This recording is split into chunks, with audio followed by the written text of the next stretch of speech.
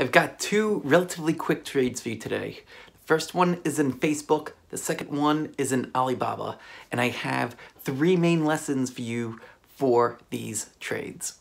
Now both of these trades, Alibaba and Facebook, both of them broke even. Now before you click skip, I want to share with you the three lessons that came out of this. The first one is knowing your time frame. Second is understanding market health. And third is understanding where you're at in the position. And you can have an overarching theme of synthesizing these three rules or, or these three themes together. And it's the synthesis of them that allow us to be consistent in the market over the longer term. Let's start with Facebook. Facebook, we all know, is the leader in the social media space. That's what got us interested in the first place. It was a leader in this industry, and it's also been a leading stock for a very long period of time. So Facebook started to consolidate, and it started to poke its nose above what was, or what we thought was, an advanced entry point on a break above this descending trend line here. So got in at 181.03. Uh, And our exit for this trade, and what really prompts us for, for every single trade, well, we like to know what the advanced entry point's going to be, but we also want there to be a real good longer term support level very nearby. And you have that right here. You have it right below, it's below the 50 day moving average. It's below this other fainter line, which is the 100 day moving average. And uh, we have the initial stop placed at $168.97, which is very cryptically uh, risking 6.66%. Uh, so we get in and we're following along with this trade. It starts to, to work and it's kind of chopping around a little bit. Then on uh, over here, you know, when we get into the early part of February, uh, we're raising our stops uh, to even on a number of the trades that haven't really moved too far yet. And the reason why is because we saw the market doing this, right? So beginning our, yeah, early stage of February, we're seeing the market start to roll over. We end up exiting Facebook on this day and exiting for break even. We're rolling the stop up to break even when we're starting to see the market consolidate and uh, we saw this much bigger rally and while we're still operating on the intermediate term time frame for the positions where we don't have a lot of profits yet where we don't have much of a cushion uh, trades that haven't really gone anywhere yet like a Facebook we don't really want to sit around and wait for it to shake us out at our uh, original stop loss, which we would have been shaken out uh, a couple of days later over here, which is February 9th. We roll our stop up to break even and we're shaken out right there. That That's part of where understanding our time frame, our intermediate term time frame, it's not where we exited right away. Well, we were holding this for, for about two months and ended up breaking even. So that, that right there is intermediate term but it's knowing the market's health and it's also understanding where we are in the position. For a trade like Adobe or Intuitive Surgical or Mercado Libre, we're able to give the stocks a bit more room because they've already proven themselves. We're sitting on gains of 20%, 50%, 100% for Facebook, uh, we let, let me see how much we were up on this trade at a maximum. At a maximum, we only had a 7% gain and it was quickly starting to evaporate and it the trade like looking at this price action from left to right, it it never really takes off.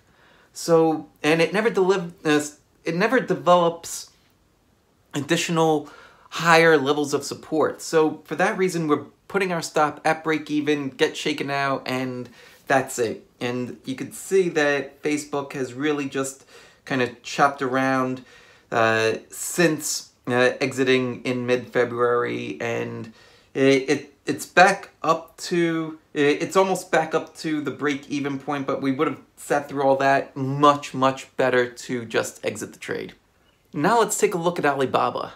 If you recall from an earlier video, Alibaba was one of our biggest winners in 2017. We started a position right before it reported earnings in January of 2017, and we rode it up for the bulk of this trend here, and we ended up getting shaken out right over here, right?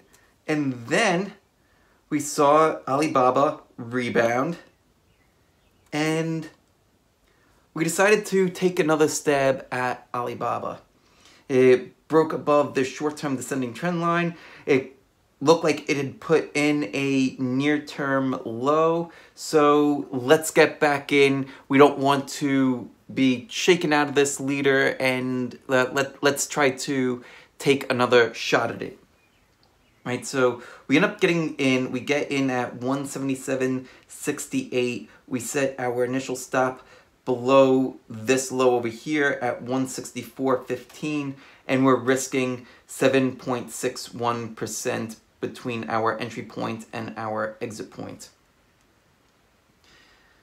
Pretty soon Alibaba starts to work but again we're seeing this nasty move in the S&P 500. We're seeing the this uh, this huge sell-off and at this point in Alibaba, we don't have that much of a of a cushion like we did when we were were enjoying this other entire move up. Now, we're treating Alibaba like it's a new position, and it is a new position.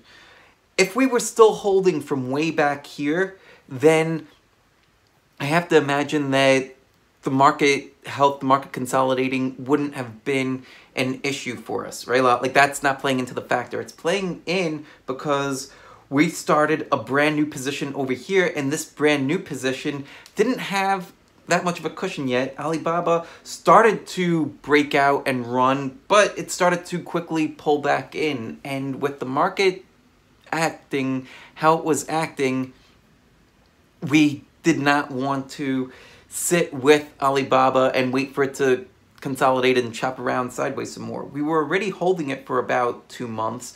And so let's move the stop up to break even. If we get shaken out, we get shaken out. And well, if it presents another opportunity to get back in down the road, then so be it. So we exit Alibaba right there. And so far, it hasn't taken out what was our original stop loss, but it still is just chopped around for another couple of months. And that's time where we can be preserving our physical capital as well as our mental capital, which is even more important and not have to deal with the angst of, oh, is Alibaba going to come back? Is it going to continue to roll over? Oh my God, we're now trading below this 50-day moving average for an extended period. Look at this, we took a dip below the 200-day moving average. Who wants to deal with all that nonsense? I would, it, it's so much better to be able to exit and manage the trade for what it is and understand where we are in the trade versus trying to pick the exact top or pick the exact bottom. We want to have a consistent set of rules that we're going to follow for every single trade. And those sets of rules include both technical rules and it's going to include rules around managing the actual position. For us, if we don't have a huge cushion or a huge being like 20% or better in a position, then we're going to begin rolling our stops up to break even when we start to see that kind of choppiness in the market, especially well the kind of choppiness that we saw in January. We only had about uh, less than 10% on both Facebook and Alibaba, and therefore much better to roll the stop up to break even versus trades uh, like Adobe and Intuitive Surgical and and Mercado Libre where we already had good cushions where we could give those stocks more room to work. Learning how to do this, learning how to properly execute trades, learning how to properly manage trades, it all takes a substantial amount of time. It took me years and years and years of getting kicked in the face by the market in order to learn. And then for intermediate term trading, what finally helped me get over that hump was by modeling success. And that's what I've done with the model portfolio. I'm following along the success of Adam Sarhan trade for trade for trade. And in doing so, I'm learning all these different lessons right along with you guys. You can earn while you learn. I want you to take a three-month trial to the Advanced Stock Report service. It's only going to cost you $27 for three whole months of trading along. With this service, you're going to get access to the model portfolio, and so you'll see exactly where we're going to enter a trade, where we're going to exit a trade, how much we're risking, and you're going to get this plan before anything's ever executed, so that way you can see and follow along and understand the rationale. You're also going to get direct access to both Adam Sarhan, who writes for Forbes, who has 20 years of portfolio management experience, and you're going to get access to me as well, and you could ask us any and all questions that you have. You're going to get intra-week updates. You're going to get full market commentary and analysis.